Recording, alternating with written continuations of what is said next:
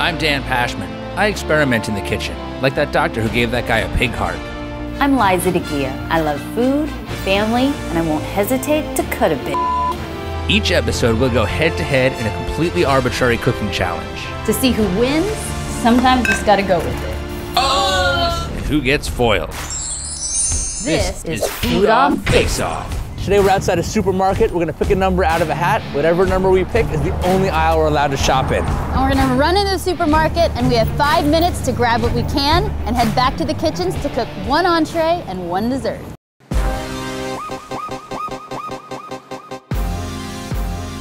my gosh. It looks like the cereal aisle. For savory, you need like a base. I need a base. Corn muffin mix. Ooh, ooh, corn muffin mix, mix, mix. Needs eggs and milk. I don't have those things. I need a method to my madness. Marshmallows. Yeah? Yay, nay? I don't know. Sardines? Masa. I can work with this. I don't need the cornbread mix. I can use the masa.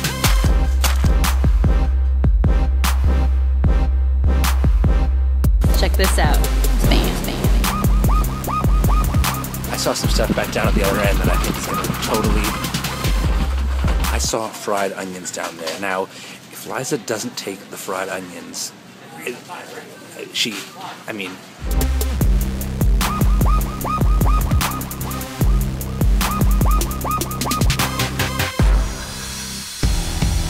I'm gonna try to pull a semi-healthy card in all of this.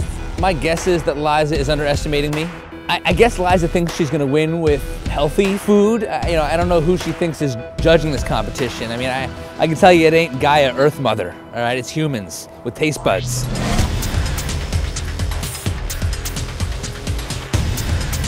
I came in ready to take Dan down. And I think he just kind of woke up this morning was like, hey, I got a cooking show to cook off for. But no, not my house. I am not afraid to take risks. I am willing to combine ingredients that not only has no one else combined them, but I haven't combined them. I don't know. I truly don't know. Um, you're supposed to mix this with milk, which I don't have. I'm going to mix it with water and see what happens. I seriously think Dan was just kind of playing with his food. Tropical tie-dye is not a flavor, but I thought it might be visually striking. Liza shows up with her with her own shopping bags, and she's all Miss uh, Natural Sea Salt, organic, blah blah blah, and then she whips out the spam. I grew up on Spam. I love Spam. Might be the worst processed meat for you, but for me, it's like striking gold. I'm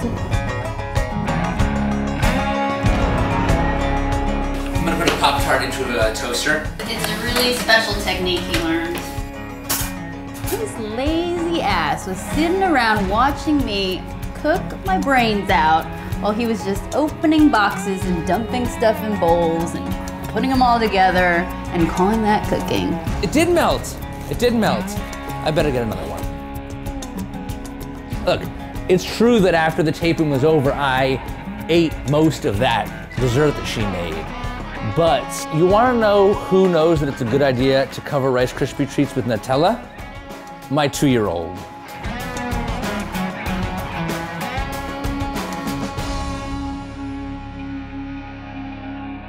Hello, guys.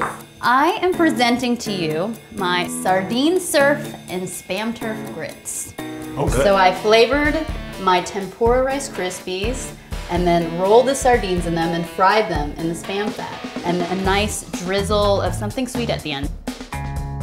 I really like sardines. Um, I like the sweet savory combination. I like the soft and the crunchy. We dodged a bullet because I don't know if you know this, but I am I'm allergic to aisle five. Hello there, Your Honor. Your Honor. I have here for you a spicy masa pie with a jalapeno Pringle, cheddar cheese, fried onion, and walnut topping. And in lieu of a pie crust, I've used a homemade corn tortilla. I have for you curried rice, Krispies. Uh, because milk was not available in aisle four, I have created something called oat oatmeal. What is oatmeal? It's an oatmeal-based powder, traditionally combined with, with milk to create a beverage that has five uh, vitaminas and two minerales. It's rare that while eating you fear if you hold it in your mouth too long, it's gonna turn into concrete, but I did get that feeling a little bit. Bonjour, judges. Basically, it's all my most favorite things I could find in aisle four in a pie. And I found that I could use the top layer of all natural peanut butter as my oil mm-hmm. base. Mm-hmm. And I made Rice Krispie treats mm-hmm. layered with Nutella, topped with salted toasted coconut and toasted hazelnuts, and drizzled with more Nutella. This is the cherry on top. It's so right now you're cherry flavored Froot Loops. Uh huh. Mm. wow, Nutella on Nutella. It kind of made my teeth hurt. It was so sweet, but mm. I'm not gonna say that I was opposed to that too much. Well, Your Honors, you know, anyone can cover Rice Krispie treats in Nutella and call it Christmas. but it takes real vision to bring together flavors in a new way, I think. So I present to you some dessert sushi. This is a Cinnamon Toast Crunch breakfast bar. It's been wrapped in a rainbow fruit roll-up and topped with a blueberry Pop-Tart. It looked good, it, it was fun. I thought the, the composition was ambitious.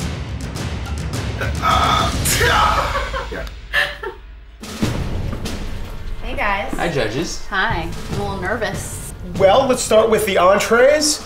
You both had great ambition. Perhaps yours was even more ambitious, Dan. But I just think that we both felt that there was maybe the masa wasn't doing what it needed to do. There was a lot of it. So dessert, um, Liza de Guia. I might start calling you Liza de Drizzler.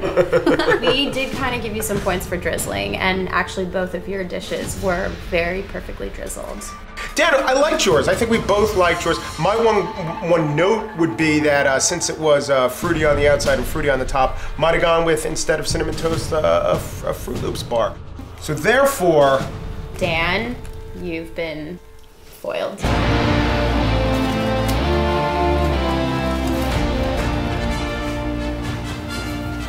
He's gonna go cry into his Froot Loop roll-ups. His oat milk tears. Oat milk. Oat milk tears. I was surprised. I, I thought that I had the better dishes just because they didn't taste as good. I mean, what? Aisle four is not my forte. So for me to like come in and uh, kind of do a clean sweep of the judges, I mean, I'll give her credit. The Rice Krispies crust, that was clever, but no tempura. You know, I could just add fancy words to my foods too, make it sound like I did more than I did. Anyone can do that. Like, what's an example?